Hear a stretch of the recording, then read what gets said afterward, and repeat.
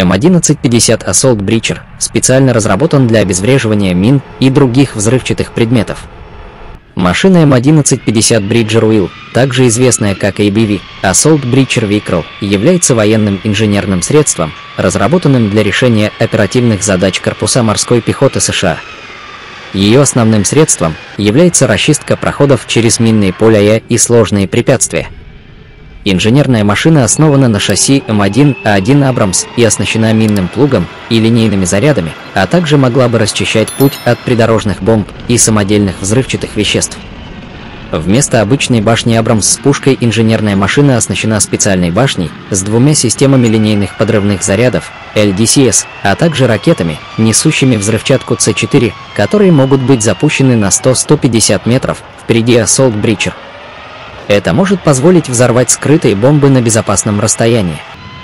Адаптер для высокого подъема также позволяет устанавливать полноразмерный минный отвал FWMP или боевой бульдозерный отвал. М1150 Assault Breacher также использует интегрированную систему обзора, которая позволяет экипажу из двух человек, командиру и водителю, оставаться внутри бронированной машины – Место водителя типично для М1А1 Абрамс. Место командира расположено спереди и в центре надстройки под бронированной обзорной башней. Основная роль Assault Breacher – расчистить путь, но у него есть и наступательные возможности. Командир может дистанционно управлять вооружением платформы одним крупнокалиберным пулеметом Браунинг М2. Кроме того, минный разградитель оснащен двумя блоками по 8 дымовых гранатометов, которые могут обеспечить прикрытие, пока машина находится в опасности.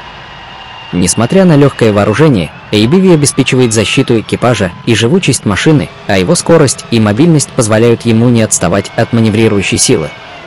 Он очень похож на танк Абрамс по размеру, весу, скорости и дальности пробега. В настоящее время США испытывает опытные образцы беспилотных танков-тральщиков на базе М1150. Результат этих испытаний должен определить требования ко всей концепции использования такого типа машин в строй вооруженных сил США. Впервые апробация роботизированной версии М1150 Assault Breacher Vehicles прошла в мае 2019 года.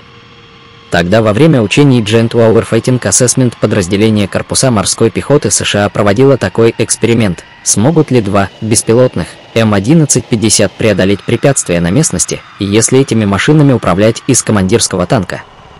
Инженерные танки М1150 в строю армии США обычно действуют парами.